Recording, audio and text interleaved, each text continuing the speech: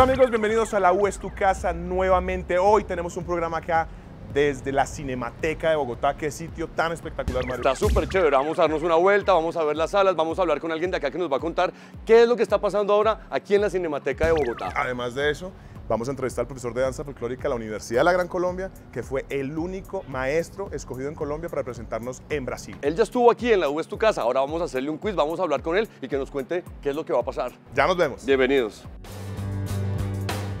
Y seguimos aquí en la U es tu casa. Estamos con Paula Villegas, directora de la Cinemateca de Bogotá. Paula, bienvenida. Muchas gracias por estar acá. Bienvenidos ustedes. Bueno, eso, eso yo le digo, espectacular. Quedó espectacular. De verdad hemos recorrido un poco los espacios y nos ha parecido que quedó maravilloso. Pues nos esforzamos mucho por tener un centro cultural para las artes audiovisuales para la ciudad. Eh, muy bien dotado, de mucha calidad, con tecnología de punta. Entonces realmente esto solo tiene sentido si ustedes, la ciudad, viene. ¿Cómo ha recibido la gente la nueva Cinemateca en Bogotá? Pues esto ha sido impresionante, llevamos justo un mes de operaciones y esto, pues la acogida ha sido increíble. O sea, lo que en la otra cinemateca, claro, era una capacidad de 169 personas y aquí la capacidad no solo en la sala, sino en la cantidad de espacios que tenemos eh, se triplica. Entonces, realmente la acogida ha sido súper buena. Paula, ¿y el proceso, digamos, tuyo, cómo llegas a ser directora de la Cinemateca de Bogotá?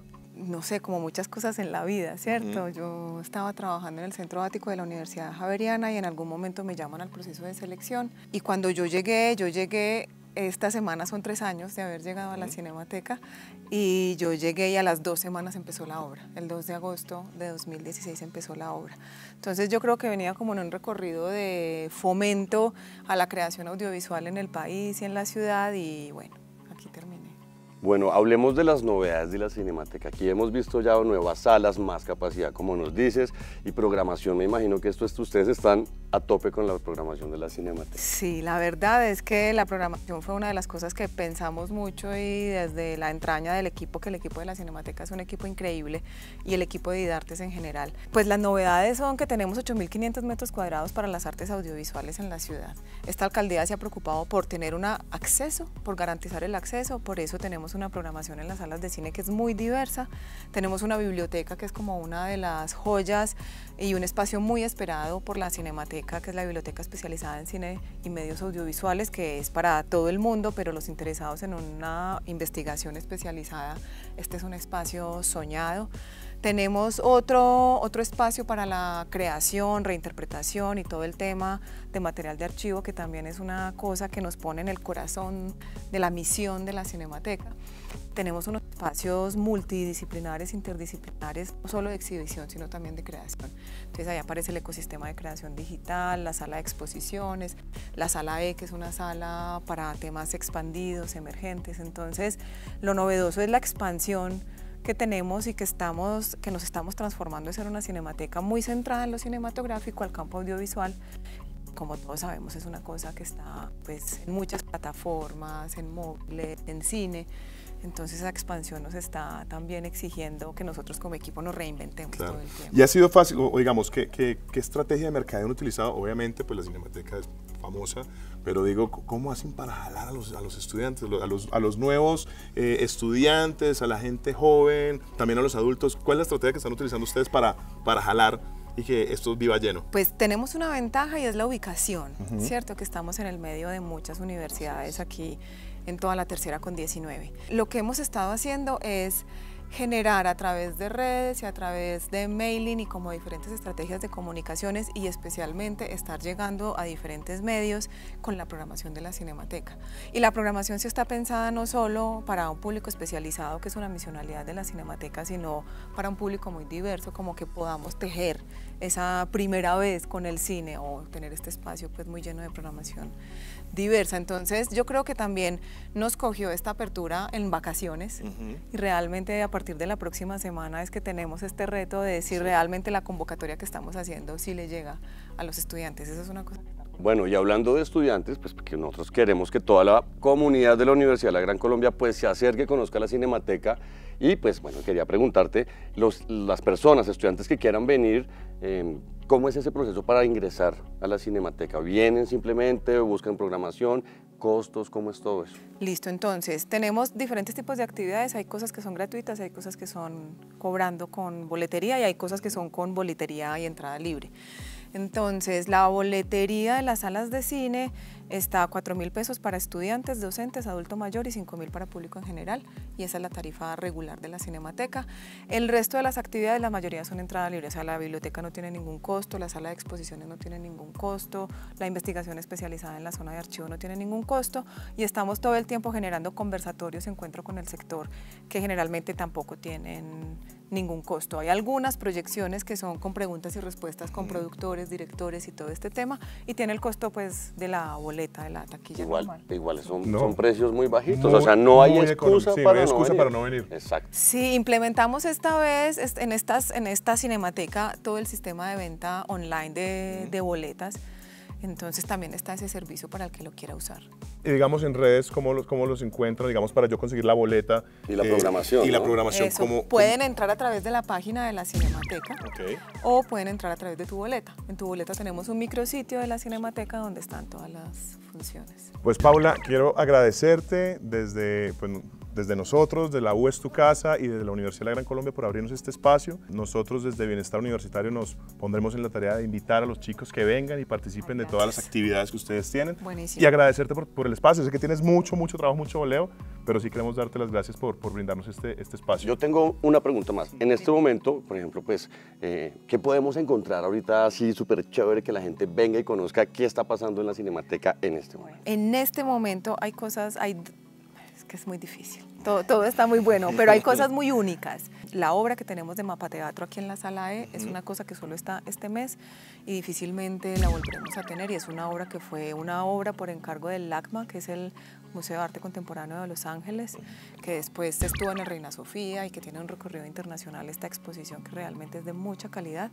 La sala de exposiciones también es una, es una curaduría de la Cinemateca, pero es un lugar para tener un encuentro con las artes audiovisuales de otra manera, llena de un contenido muy potente. Tenemos en este momento la retrospectiva de Vicky Hernández, que hace un recorrido histórico, pues desde Confesión a Laura, la mansión de la Araucaima, bueno, ¿cierto? Como es una retrospectiva de siete películas un programa de cortos muy, muy especial. Estamos terminando la retrospectiva de Pichapong Verasetakul, que es un director in- eh, tailandés, que es nuestra primera retrospectiva internacion- internacional en esta cinemateca. Y, y, y- y paralelo a eso sucede, en of- sucede una oferta para primera infancia, suceden los talleres, estamos esta semana en taller de animación para adolescentes, ¿cierto? Como que O sea, para toda la comunidad, hay para todos. hay para todos, entonces realmente consulten la programación porque para todos habrá alguna oferta y alguna actividad. Ya saben, teleamigos, aquí desde la es tu casa estamos en la Cinemateca Bogotá. Todos bienvenidos a la Cinemateca. Seguimos con la es tu casa.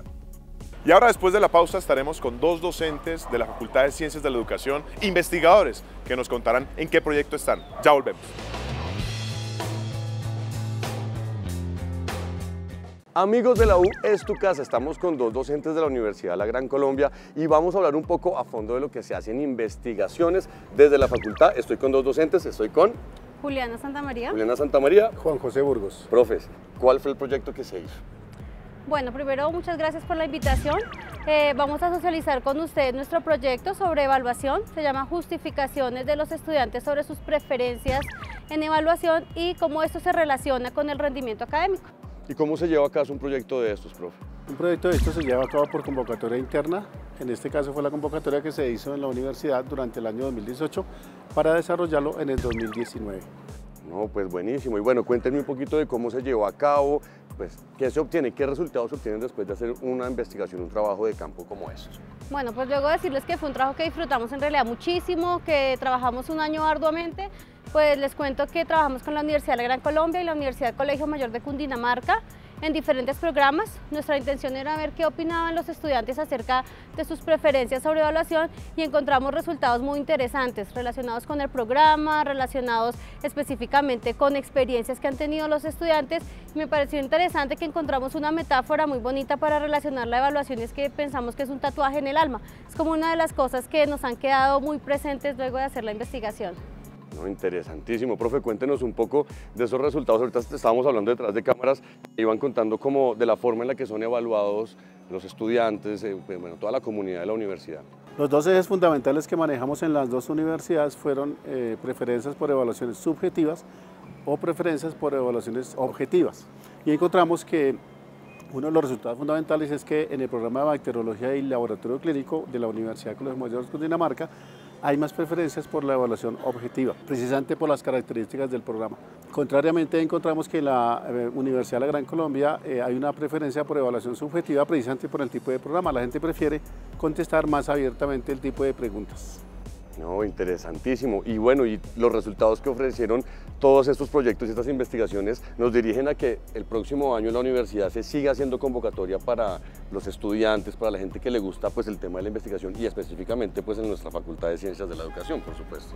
Sí, por supuesto. Yo creo que eh, haber culminado nuestro proyecto en realidad es una, una puerta abierta para invitar a la comunidad a que continúe investigando, a nuestros estudiantes a que se motiven a participar en los semilleros de investigación. Tuvimos la experiencia de vincular estudiantes en el proyecto y en realidad fueron un apoyo fundamental. Claro, todos los profesores que les interesa la investigación deben presentarse a la convocatoria Julio César García. Nuestra universidad sí apoya la investigación, nos permite socializar en otros escenarios nacionales e internacionales. Yo creo que para toda la comunidad en realidad es una invitación a que pues caminemos por este sendero de la investigación, nos cualifica a nosotros como profesores, nos ayuda a ser mejores profesionales y motiva a nuestros estudiantes para eh, la calidad de su profesionalización. En este último proyecto, estudiantes, ¿cuántos estudiantes estuvieron con ustedes del proyecto? Participaron 300 estudiantes en las eh, encuestas y seis grupos focales por cada, una, por cada universidad para un total de 12 grupos focales. Uno de los resultados que es importante destacar también es el hecho de que los estudiantes suelen confundir rendimiento académico como si estuvieran aprendiendo y realmente no es así. A veces ellos creen que porque sacaron 5 en una evaluación eh, necesariamente están aprendiendo y realmente no es así porque el aprendizaje implica mucho más procesos que contestar una evaluación cuantitativa. Claro, ¿no? y la investigación, precisamente la comunicación que requiere esos focus group, que requiere tener semillero, tener personas listas a que sepan cómo es que se debe preguntar, cómo se debe investigar, cómo se debe focalizar todos estos proyectos, ¿no, profe? Por supuesto, y sea pues la oportunidad para agradecer a Daisy y a Marcela, las auxiliares de la investigación, dos estudiantes de la Facultad de Ciencias de la Educación muy comprometidas con el proyecto, estuvieron liderando la realización del taller que desarrollamos para socializar los resultados con los estudiantes de la Universidad de la Gran Colombia y pues lo que uno encuentra son líderes y creo que de eso está hecho nuestra universidad de emprendedores, de líderes, pues bueno, bueno, esta es la experiencia del proyecto. Una pregunta, ahorita hablábamos que también uno de los resultados fue un artículo científico que se publicó, eh, pues nosotros hemos hablado con nuestros teleamigos que tener un artículo científico requiere de un proceso de investigación profundo. Eso no es como tan fácil de ir a hacer un, documento en formato, sino esto debe tener una aceptación, obviamente pues por medio de la universidad, del, semillero, pues, de los docentes que están a cargo. ¿Y dónde se publica esto? ¿Dónde la gente puede ya encontrar estas investigaciones? Bueno, ese artículo científico está aprobado, que el artículo ya me lo enviaron, eh, enviamos las correcciones que son bastante eh, arduo hacerlo. Precisamente eh, en la revista argentina denominada Revista Latinoamericana de Educación Comparada, enviamos el artículo que ya fue aceptado, ya hicimos los ajustes y próximamente yo creo que menos de 15 días va a salir. Evidentemente que es difícil, pero es un reto y fue un logro que tuvimos dentro de los 10 productos que vamos a presentar. Este fue uno quizá de los más importantes, junto con el libro que ya también está listo y estamos esperando la convocatoria para poderlo presentar aquí en nuestra Universidad de la Gran Colombia. Finalmente quiero eh, agradecer también a la eh, Dirección de Investigaciones que nos ha apoyado en, a nivel de presupuesto y a nivel de horas. Yo estoy totalmente dedicado a la investigación desde hace cinco años y creo que eso ha facilitado muchísimo el desarrollo de productos importantes y que tengan impacto. No, buenísimo. La invitación para toda la comunidad de la Universidad de la Gran Colombia, docentes, estudiantes, a que se animen a este mundo de la investigación de la comunicación que pues, es asombroso, ¿no? Esto te arroja resultados. Yo creo que las, las, mejores respuestas se encuentran en un buen proyecto de investigación, profe, ¿verdad? Sí, la eh, Sociedad del Conocimiento hoy eh, invita a las universidades a que sean eso, productoras de conocimiento. Si no se produce conocimiento hoy, realmente las universidades tienden a desaparecer. Y por eso es importante que la universidad no solamente forme, sino que también investigue y forme en investigación. Por eso es tan importante que nosotros cada día profundicemos más eh, la necesidad de investigar.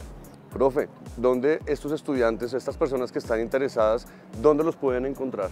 Bueno, pues nosotros estamos siempre en la Facultad de Ciencias de la Educación, pero antes de eso quería decirles que los invito a que vean en el repositorio institucional, eh, también hemos colgado ahí un working paper que cuenta un poco cómo fue nuestro trabajo en la investigación, próximamente con el libro, con el artículo. Esperamos que estos sean espacios de formación para los futuros licenciados. Esa es como la meta también cuando uno hace investigación y no mirar la investigación como algo que la hacen los grandes sabios, sino como un proceso que también nosotros podemos hacer, especialmente los estudiantes, los jóvenes que hasta ahora se inician en la vida académica, sería importante que se motivaran para que investigaran.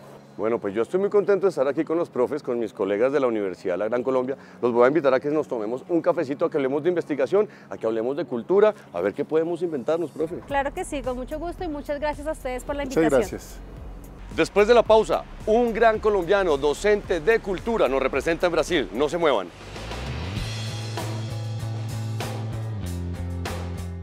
Bueno, y seguimos en la U es tu casa. En este momento nos encontramos con el profesor de danza folclórica de la Universidad de la Gran Colombia, Alexander Martínez. Profe, bienvenido. Muchas gracias. Bueno, primera pregunta, Alexín. ¿Cuánto tiempo llevas en la universidad? Llevo con la universidad siete años, desde el bienestar universitario en la electiva de danza folclórica y en el grupo representativo de la universidad. Siete años. Profe, ¿cuántos premios para la Universidad de la Gran Colombia desde danza folclórica?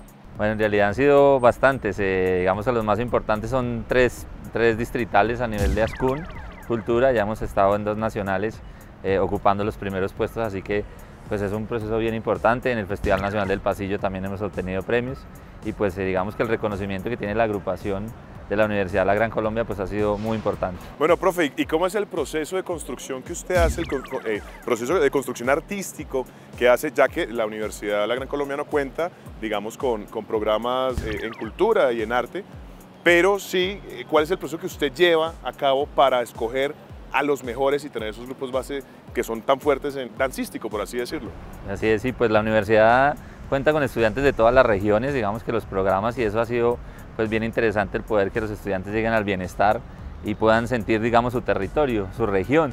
Y de esa forma intentamos que ellos compartan un poco las experiencias que tienen. Entonces en el grupo hay llaneros, hay gente de la costa, hay gente del Tolima, entonces de esa forma también eh, pues compartimos a través de las experiencias. Con las salidas de investigación que tenemos hacemos como todas las propuestas que tienen que ver con contar historias a través de la danza, porque la danza no solamente es el tema de la coreografía, sino como también desde los elementos cotidianos, desde la vida misma de los muchachos y de los chicos, podemos contar historias a través de, los procesos creativos que tenemos en el grupo.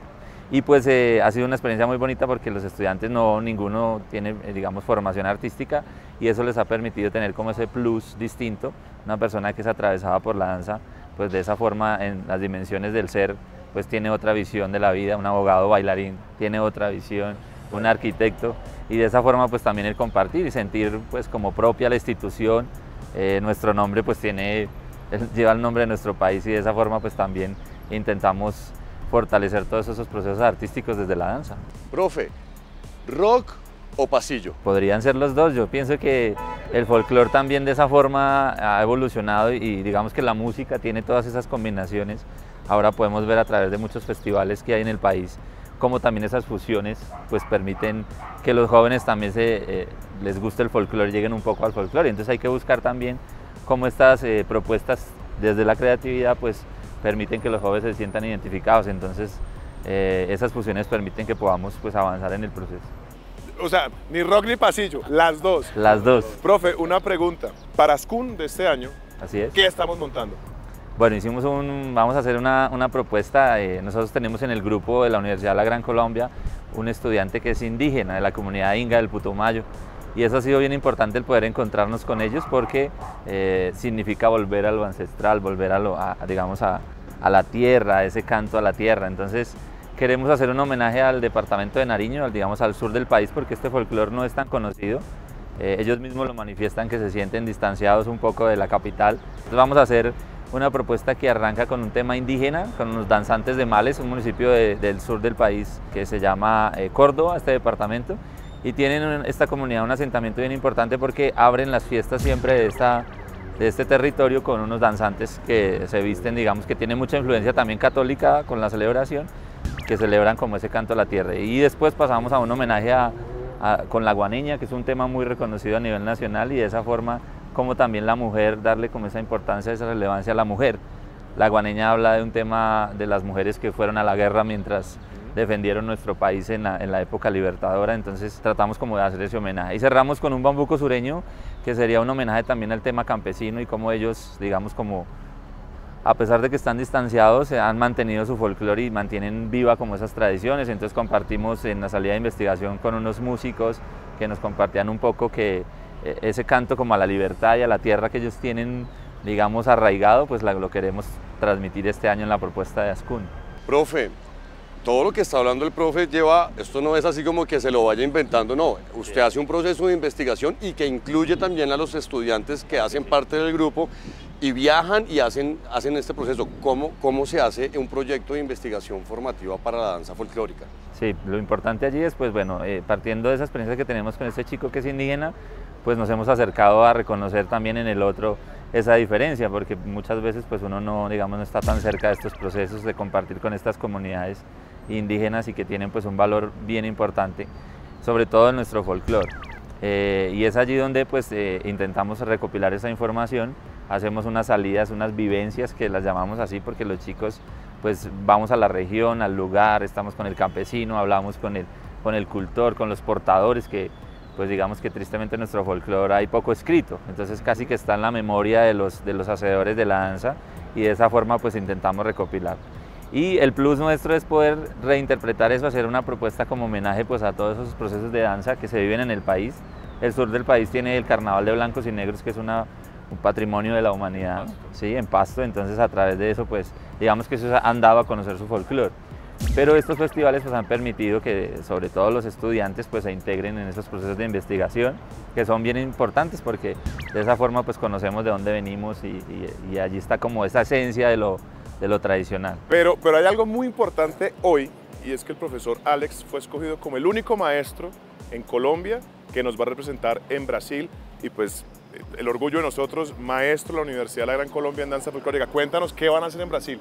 Bueno, yo este jueves nos vamos para Brasil, estamos representando a Colombia en el Festival Internacional de Nueva Petrópolis, al sur de Brasil, y allí vamos a compartir un poco lo que es la experiencia, lo que ha sido la experiencia en la Gran Colombia como docente y director del grupo de danza. Entonces eh, vamos a compartir con otros maestros, más o menos hay 19 países invitados y yo estaré por Colombia representando a la Universidad de la Gran Colombia y a lo que hacemos que desde el bienestar y el del grupo representativo en lo que tiene que ver con la danza folclórica de nuestro país. Bueno, pues profe Alex, muchísimas gracias por compartir este espacio con nosotros. Muchas bendiciones, que la saque del estadio allá y gracias primero que todo por pertenecer a la Universidad de la Gran Colombia y ser el único maestro que va a representar a Colombia en Brasil. Muchas gracias, profe. Súper. Bueno, vale aclarar que en, en, nuestro cabezote de la U es tu casa, ese grupo de danza que ustedes ven ahí son estudiantes precisamente de danza folclórica del profe Alex. También creo que fue nuestro segundo programa, nuestro segundo capítulo de la U es tu casa, que ya habíamos tenido la oportunidad de entrevistar al profe, de verlo en nuestro challenge de baile, ¿se acuerda? Estuvo bailando. El que pues, gané yo, sí, claro. No, no, no, no. A mí me da mucha pena con usted, pero eso fue un empate con tendencia a que yo ganara. no, felicitaciones, profe Alex, de verdad, que le vaya súper bien en su viaje y nosotros vamos a estar muy pendientes de todo lo que está pasando pues en Brasil y por supuesto una experiencia de vida en la Universidad de la Gran Colombia. Bueno amigos, esto fue la U es tu casa el día de hoy. Ya saben, bienvenidos a la Cinemateca Bogotá. Espectacular, facilísimo de llegar, Negrito. Sí, aquí carrera tercera con calle 19, estación de universidades, pendientes en las páginas de la Cinemateca en donde van a ver toda la programación disponible. Y no se les olvide visitar pues nuestros portales también de la Universidad de la Gran Colombia, www.ugc.edu.co y asimismo pues también en Instagram y en todas las redes sociales como arroba U La Gran Colombia. Ya saben, la U es tu casa. Chao. En la U es tu casa. No, perdón, sí, perdón. ¿Qué fue lo que me dijo Flaco que esa noche? Solo aquí. Sí. Productor con bolso, la U es tu casa. Investigación. Investigaciones, plano 1. 5. La U es tu casa, despedida, plano 2, toma 2. 5, 4, 3, 2. Bueno amigos, les damos... ¡Bienvenidos! No, olviden visitarnos en las redes sociales, arroba... eh,